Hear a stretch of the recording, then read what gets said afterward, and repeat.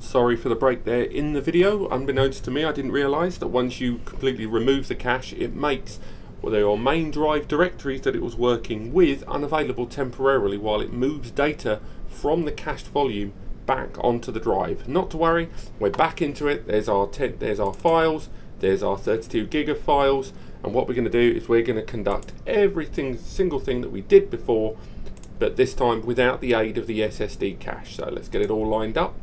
There's the virtual machine manager again. Let's get that bad boy open. And we're not going to run the virtual machine yet. We're going to try to do things exactly as we did it before. So as you can see, the virtual machine is off. There's our files. No transferring. They're not in those directories. Completely empty, as discussed before. And as you can see, SSD cache is not available. All we have is our volume. So let's get moving on this, shall we? We'll leave that there just to prove to you there's no SSD cache.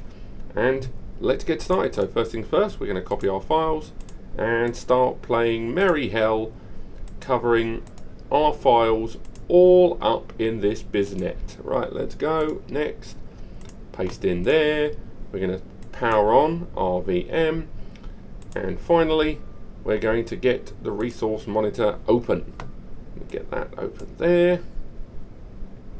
So obviously the machine's going to have the tiniest bit of a freak out that we're doing all this at the same uh, simultaneously. We'll hide that. We'll hide that.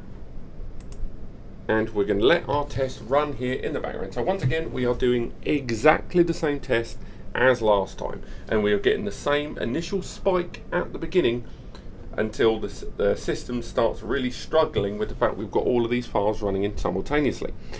Move that VM here so we can just see it's going there. In case you're wondering, this VM, already we're seeing a larger increase in CPU consumption with that VM, but it will dip because obviously the VM is booting up for the first time. In case you're wondering, it was a Windows 10 VM. Um, I would open it, but I don't want to do anything that could jeopardize this test more than I already have done.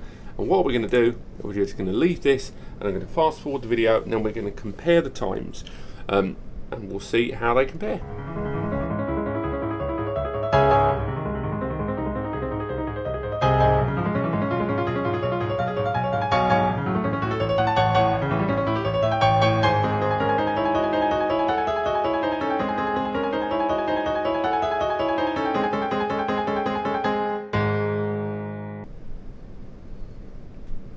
And we're drawing to a close. We're finally seeing these files be finished. We've got one pile and it's starting to look like we're almost done here. And we're done. So all those files were sent over and again this is without cache and you've probably got the clock there on the screen. The next test I'm going to perform is, I don't know if any of the more astute of you noticed, but on this device in the storage manager we've been working with the SSD and now we're going to move over to a hard drive. So the next test is going to be the hard drive 4TB WD red and this file and we're going to do exactly the same test without SSD caching but this time just on a hard drive, no SSD and all internal speeds.